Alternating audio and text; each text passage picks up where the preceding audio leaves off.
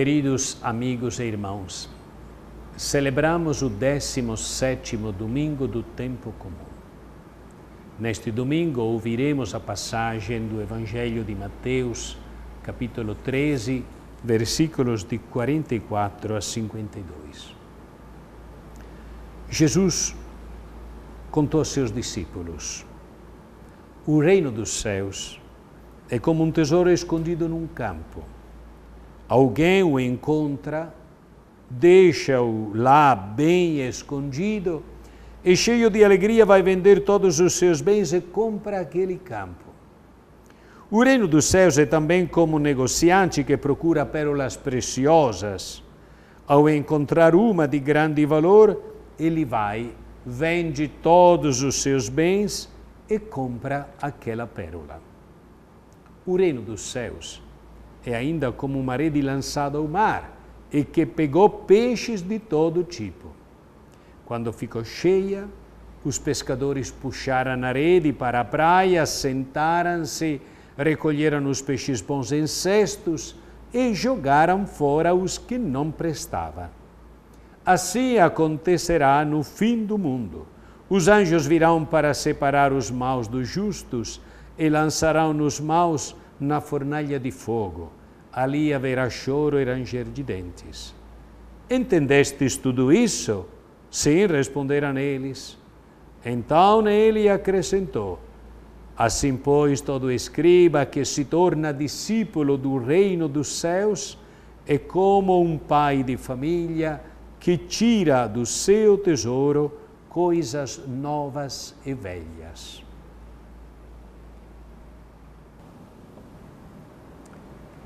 O evangelho deste 17 domingo do tempo comum é a conclusão do discurso sobre o mistério do reino, que continua a ser apresentado por meio de parábolas.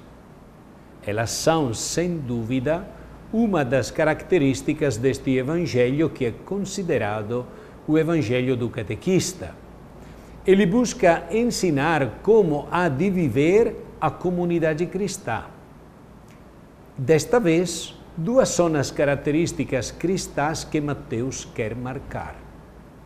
Por um lado, a importância da sabedoria para saber investir totalmente a vida a serviço do reino. Por outro lado, é a visão escatológica ou do final dos tempos que a comunidade cristã é convidada a ter que lhe faz possível arriscar tudo neste tempo no projeto de Deus.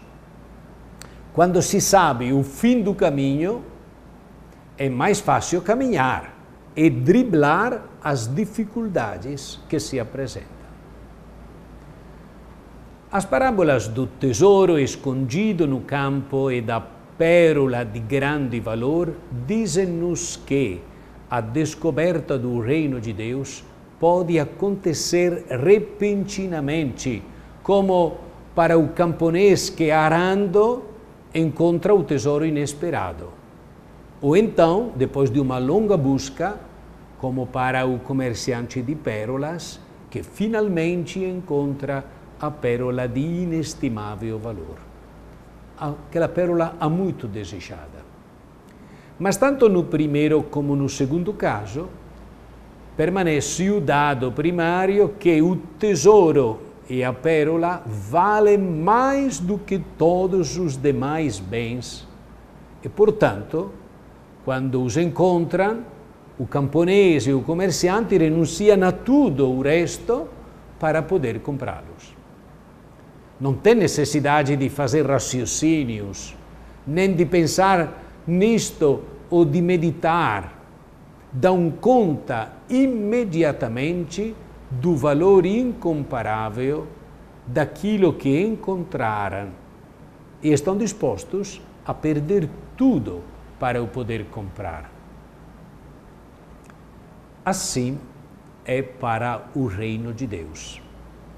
Quem o encontra não tem dúvidas sente que é aquilo que procurava, que esperava e que corresponde às suas aspirações mais autênticas. E é de veras assim. Quem conhece Jesus, quem o encontra pessoalmente, permanece fascinado, atraído por tanta bondade, tanta verdade e tanta beleza, e tudo numa grande humildade e simplicidade. Procurar Jesus, encontrar Jesus, eis o grande tesouro. Quantas pessoas, quantos santos e santas, lendo o Evangelho com o coração aberto, foram literalmente conquistados por Jesus e converteram-se a Ele. Pensemos em São Francisco de Assis. Ele já era cristão, mas um cristão ao saber da corrente. Quando leu o Evangelho, no momento decisivo da sua juventude, encontrou Jesus e descobriu o reino de Deus. E então, todos os seus sonhos de glória terrena esvaneceram. O Evangelho leva-nos a conhecer o Jesus verdadeiro, faz-nos conhecer o Jesus vivo, fala-nos ao coração e muda a nossa vida. Então, sim, deixamos tudo. Podemos mudar de vida concretamente ou então continuar a fazer aquilo que fazíamos antes, mas nós somos outras pessoas. Renascemos, encontramos aquilo que dá sentido, que dá sabor e luz a tudo, inclusive às dificuldades, aos sofrimentos e até à morte. Leiamos o Evangelho. Cada dia devemos ler um trecho do Evangelho e também trazer conosco um pequeno Evangelho no bolso, ao alcance da mão. E ali, lendo um trecho, encontramos Jesus. Ali no Evangelho, tudo adquire sentido e encontramos aquele tesouro ao qual Jesus chama o reino de Deus, ou seja, Deus que reina na tua vida, na nossa vida. Deus que é amor, paz e alegria em cada homem e em todos os homens. É isto que Deus quer. Foi por isto que Jesus se entregou a si mesmo, a ponto de morrer numa cruz para nos libertar do poder das trevas e nos transferir para o reino da vida, da beleza, da bondade e da alegria.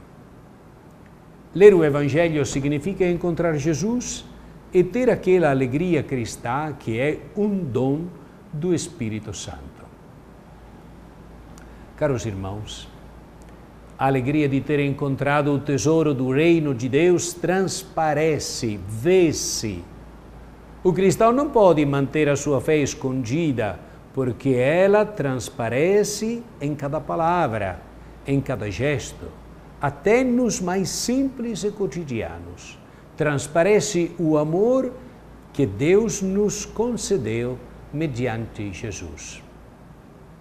Como são belas as pessoas que lutam pela paz, pela justiça. Como são enriquecedoras as relações que se baseia no respeito, no diálogo, na igualdade. Como são encorajadores os projetos e grupos que trabalham pela solidariedade pelo bem comum.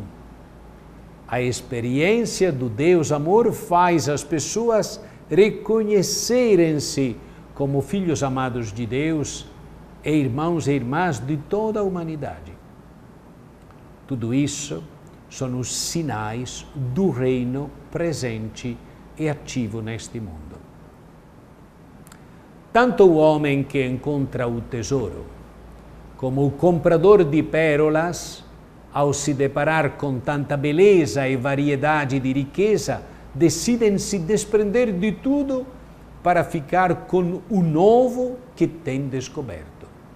O reino de Deus, a vida e proposta de Jesus se apresentam assim gratuitamente é necessária a adesão plena do ser humano a Ele.